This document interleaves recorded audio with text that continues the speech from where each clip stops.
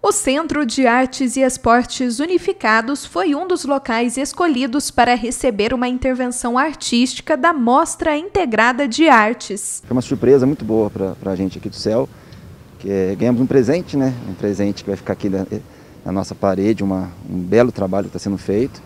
E assim, ficamos muito felizes, a comunidade com certeza também já, já abraça essa ideia, porque a alma do céu é essa, né? Centro de Artes, né? Esportes Unificado, então a origem do céu é, voltado junto com a, com a com arte. Então acho que veio, uniu as forças aí e ficamos, ficamos é, muito alegres com esse presente. No local está sendo realizada uma arte muralista que tem como objetivo trazer, além de beleza, representatividade feminina, com uma homenagem à pintora mexicana Frida Kahlo. Quando surgiu a proposta com a Kiara, é, era fazer um mural e ficou disponível algumas paredes.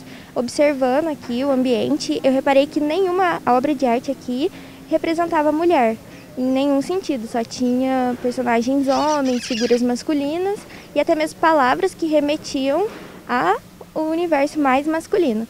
E observando isso, eu decidi partir para esse lado. Então, escolhendo a parede, a gente eu resolvi fazer, né? Criei a arte da Frida, que é uma das maiores artistas, a que representa a mulher. Vai ter uma frase dela também ali. E nessa profissão de artista é um pouco menos assim, já desvalorizado. Então eu decidi colocar ela, porque aqui eu reparei que tem muitas meninas e eu quero que quando elas olhem essa parede, elas se sintam representadas também. A gente sabe o número da população de mulheres, sabe tudo que as mulheres passam, então é uma forma de demonstrar um apoio e eu quero que a arte seja vista dessa forma. Esta arte em muralismo é apenas uma das diversas propostas da Mostra Integrada de Artes, que segue até o feriado do dia 7 de setembro com diversas intervenções em Poços de Caldas. Em junho nós ocupamos vários espaços da cidade, fizemos vários shows e fizemos intervenções urbanas. Então a ideia é fazer nesse feriado agora de 7 de setembro, começamos ontem até a terça-feira, essa programação que traz, né, Alô Firmindo, trazendo essa representatividade, o olhar feminino aqui na Zona Leste, no céu. Temos um show do Gustavo Infante, que foi gravado no Recanto Japonês, que vai ao ar na terça-feira também nos nossos canais.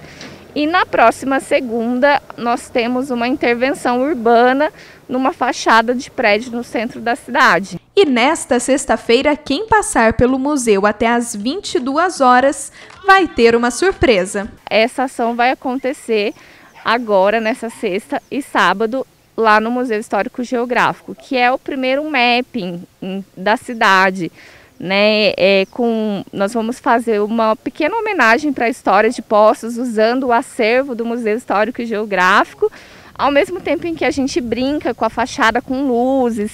Então fica o convite para as pessoas que estiverem passando pelo, pela praça ali do museu nessa sexta e sábado, das seis e meia às dez da noite, vai poder apreciar a nossa intervenção, que segue todos os protocolos, então distanciamento, a gente pede que as pessoas fiquem lá por mais ou menos 20 minutos no máximo, justamente para evitar aglomerações.